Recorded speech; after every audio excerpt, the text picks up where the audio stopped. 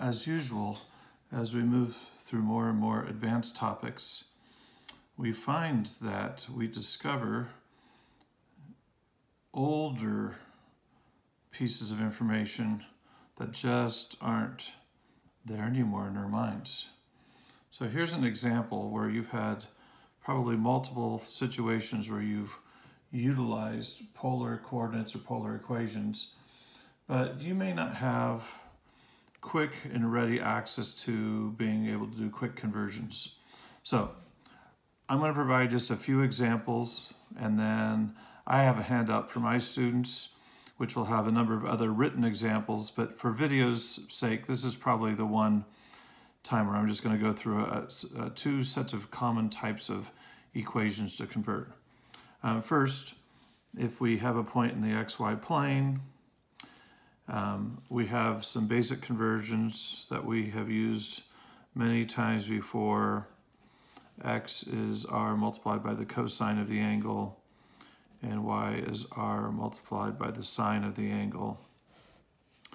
And of course, we know that x squared plus y squared equals r squared by the Pythagorean theorem. And a lesser used, but we'll, we'll, pull it up once here, um, formula is that the tangent of the theta is the opposite leg over the adjacent leg. Now, let's put these to work. We're going to convert from rectangular, the x and y world, to polar. And that's all we're going to do in this set of videos is convert from rectangular to polar. Most of the time, our objective will be to solve it for r equals, but you will find that that's not 100% possible every time. So, first example, y equals 3, x and y axis. So y equals 3 would be horizontal line, 3 units up, Replace y with r multiplied by sine of theta and then divide by sine of theta and we get r equals 3 divided by sine of theta. Now for the moral dilemma, which do you like less? Do you just dislike fractions?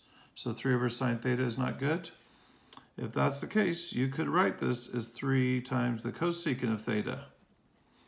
Or do you dislike cosecant more? You can write it either way, 3 divided by sine or 3 times cosecant. The textbook and I will generally write it this way because it takes less space, but this is a perfectly acceptable um, conversion. What about a vertical line?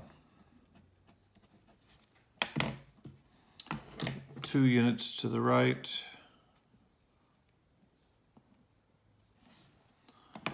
This is not a function in the xy world, but r cosine of theta is 2. r equals 2 divided by cosine of theta, which is 2 multiplied by secant of theta. This is a function in the world of polar because for every theta, you get only one value of r that comes out. So those are two pretty simple lines. Now, let's do a more interesting line. It's not fancy, but it is going to be more interesting. X and Y. So Y equals X.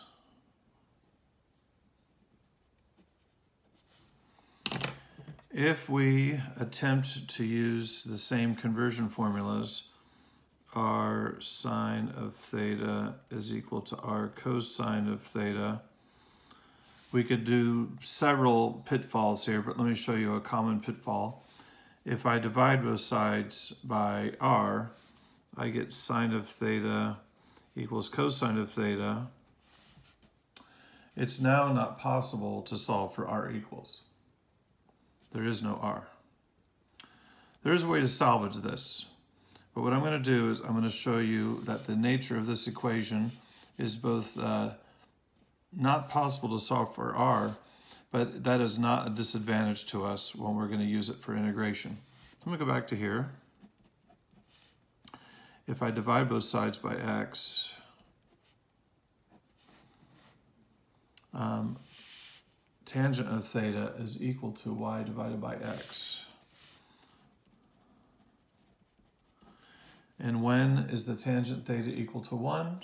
Well, there are infinitely many correct answers, but the first convenient one would be theta is pi over 4. And it turns out that this is the equation of the line that we care about. We're actually interested in naming the angle. Notice what's missing? r is not there. So r could be positive or negative, but theta is pi divided by 4. Now, besides some basic lines, we're going to also look at um, some circles.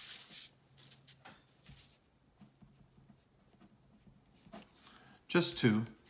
Again, trying to keep this brief, but highlighting some of the conversions you're going to use most frequently. x squared plus y squared equals what shall we use here? 16 maybe? But x squared plus y squared is equal to r squared. And we take the square root of 16. There are two roots, a positive or negative 4. We're going to just use the positive to identify this circle.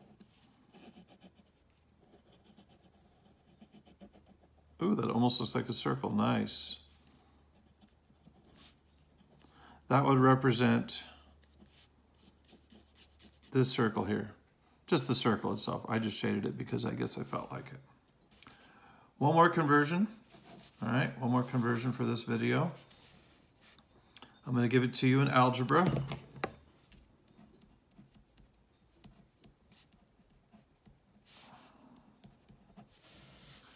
That circle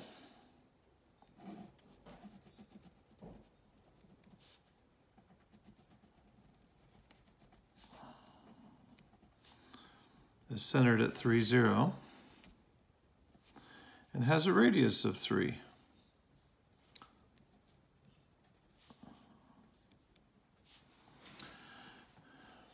You could say it's tangent to the y-axis at the origin. Um, it's centered to the right. We're going to do a little polar conversion here. Um, a little bit of multiplication, x squared minus 6x plus 9 plus y squared equals 9. Uh, subtract 9 from both sides. And I'm going to add the 6x. x squared plus y squared equals 6x. Um, it would be fair to ask how come I did that, but I'm just going to do one more step to, to find out.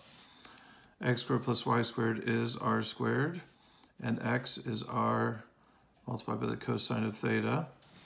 And this could get you into trouble dividing by a variable, but if I'm going to divide both sides by r,